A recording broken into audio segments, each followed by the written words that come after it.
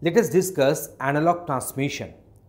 In case of analog transmission, ultimately through the media, the analog signal will be conducted, will be transmitted.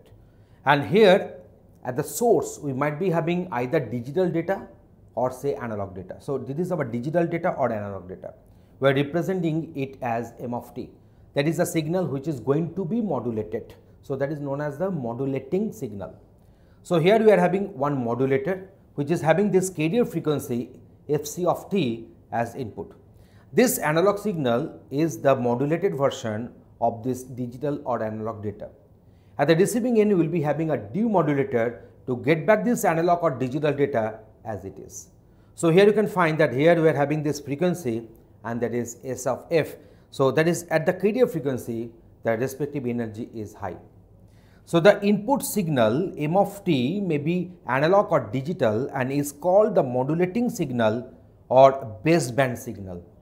The, result of modulate, modulating the carrier signal is called the modulated signal S of t.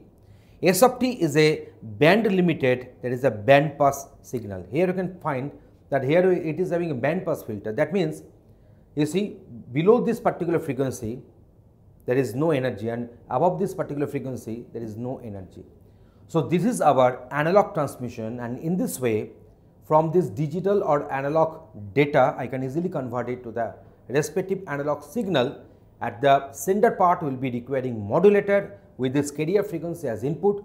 At the receiving end, will be requiring the demodulator and then the analog or digital data whatever was supposed to get transmitted will be reformed at the receiving end.